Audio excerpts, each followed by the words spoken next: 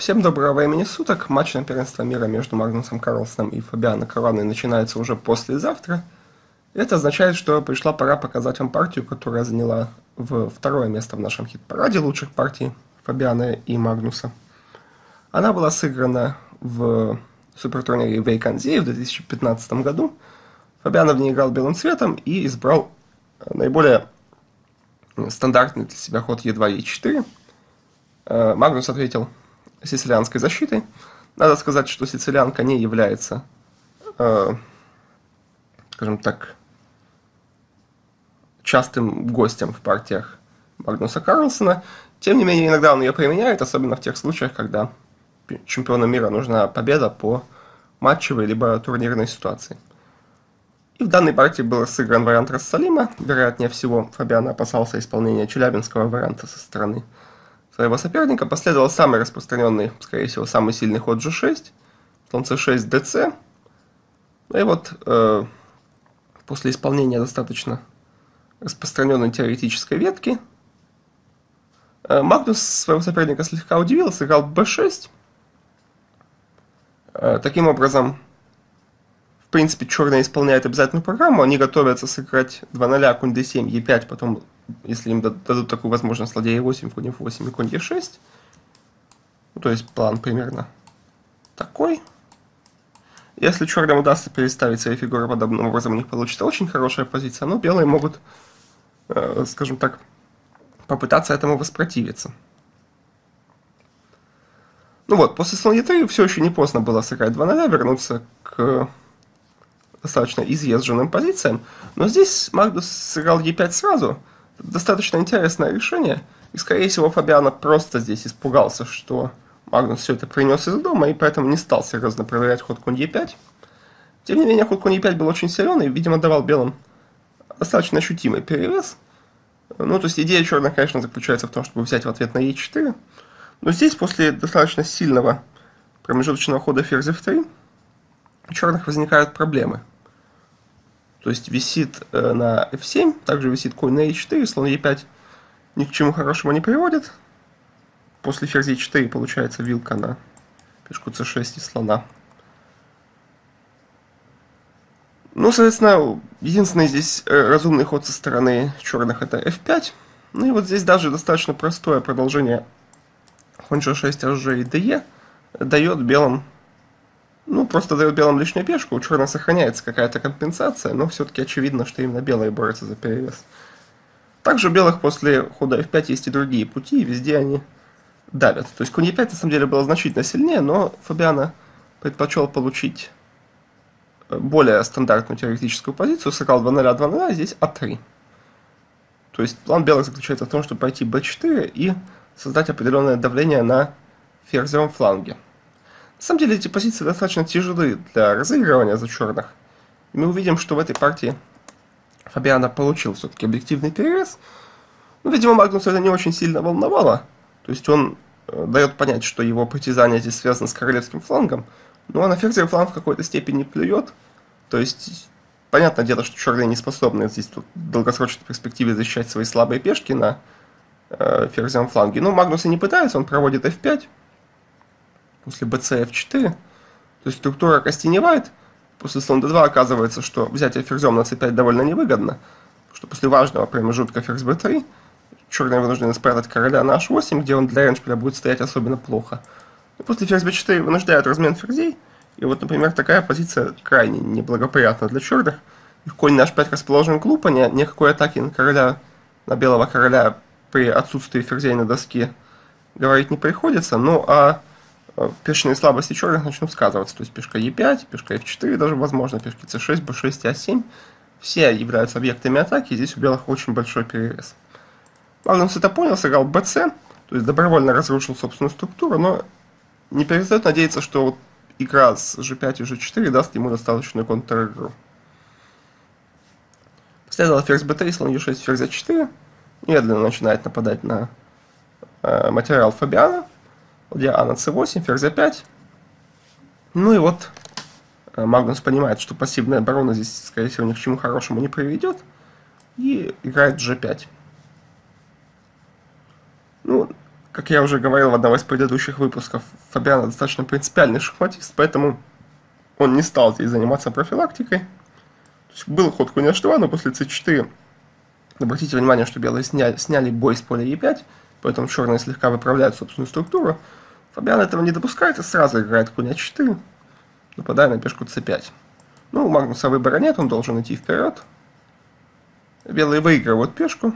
Пешка на e5 также остается очень слабой, но все-таки им нужно серьезно следить за собственным королем.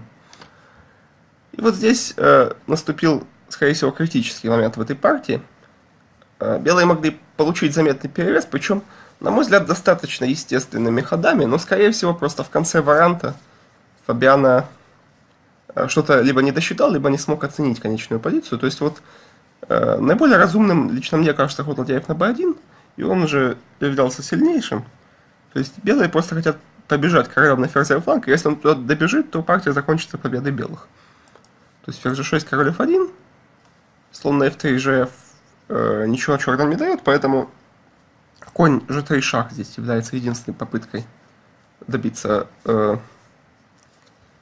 добиться какой-то контр... не то чтобы контр добиться каких-то серьезных выгод на королевском фланге или в центре. Кстати, ход FG здесь, скорее всего, проигрывает за белых, потому что черные сосредотачивают все свои фигуры на поле f3. Белые должны защищать коня, и теперь после ферзя h2 оказывается, что вся эта конструкция рассыпается, и здесь у белых довольно тяжелая позиция, в частности ферзь g1 наталкивается на ладья f3, и белые проигрывают. Но после конь g3, на самом деле, можно просто побежать королем дальше. И, конечно, черные должны продолжать здесь исполнение собственного замысла, то есть брать на e4 жертвовать фигуру. Ферзь e4. Ну и вот э, после слона f5 либо белые могут согласиться на повторение ходов, что, конечно, с практической точки зрения было бы достаточно заманчиво, либо они могут сыграть ферзь e2.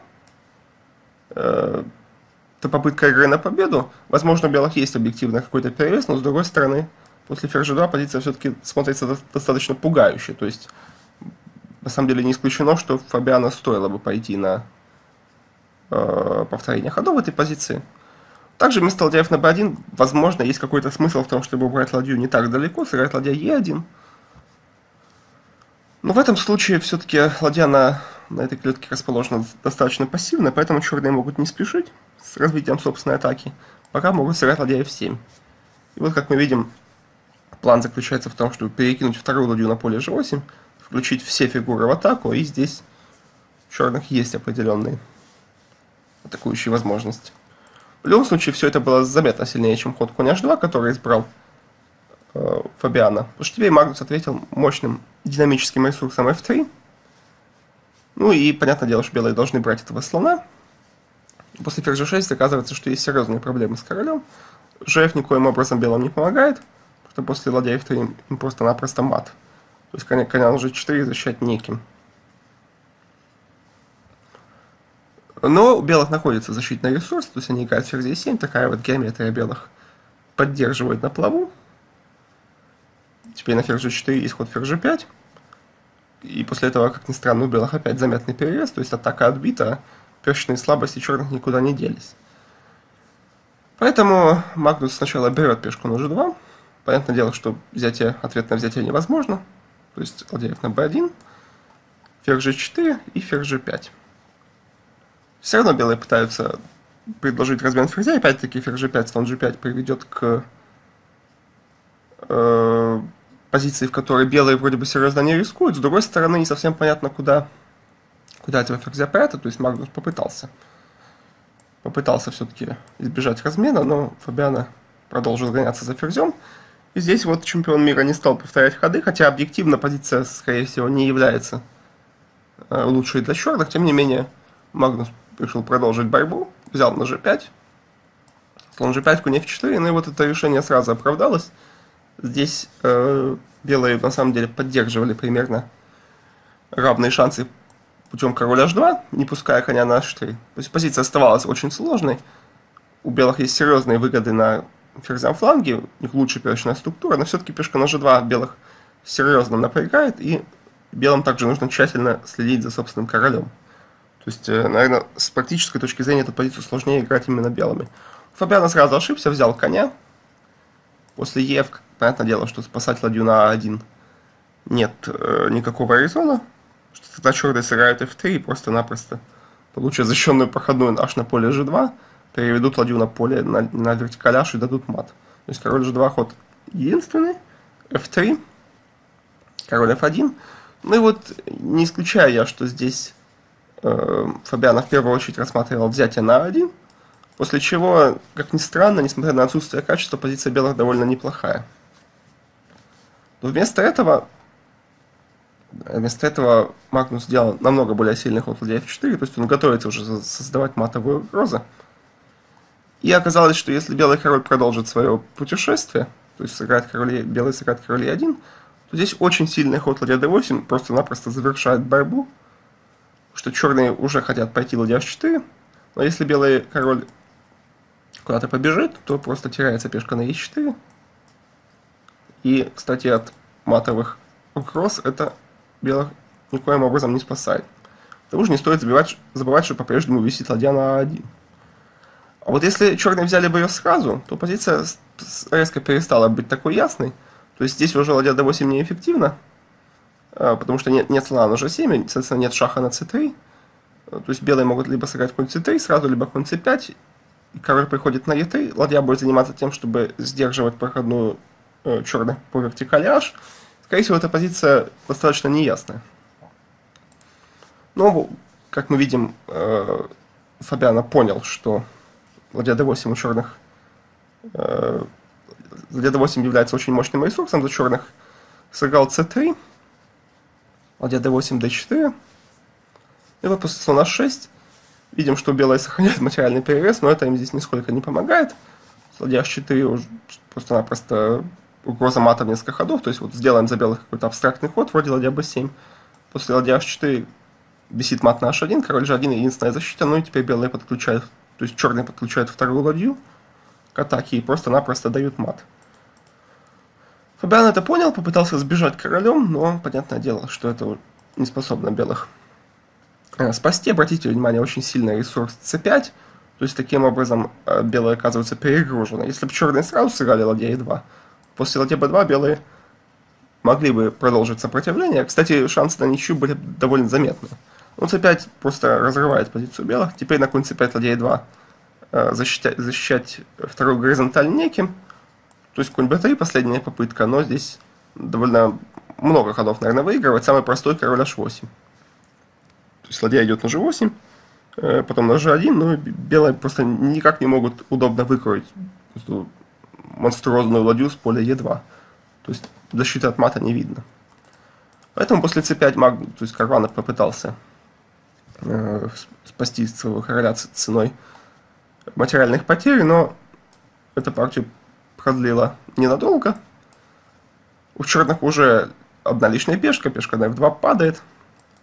Ну и в этой позиции Фабиано признал свое поражение – Черные просто играют ладья e3, потом играют f2, потом играют d3, и все эти пешки проходят в ферзи. У белых нет ни малейшей контр-игры. То есть такая достаточно мощная атакующая партия, которую скорее можно было бы ждать от э, Фабиана Карана, но в данном случае победу одержал именно Магнус Карлсон, который, конечно, в 2015 году играл просто блестяще. Если мы увидим в матче э, Карлсона образца 2015 года, то у Фабиана будет очень тяжело. С другой стороны, э, в Корее американского шахматиста тоже был турнир, в котором он, откровенно говоря, блеснул, показал результат, который навсегда вошел в историю. Это было в 2014 году, и об этом мы поговорим в следующем выпуске. Так что если, если мы увидим э, в матче на первенство мира Фабиана 2000, образца 2014 года, то очень тяжело будет уже именно Магнусу Карлсону. Увидимся завтра и, скажем так, запасайтесь попкорном. Э, матч на первенство мира начнется уже совсем скоро. С вами был Никита Петров.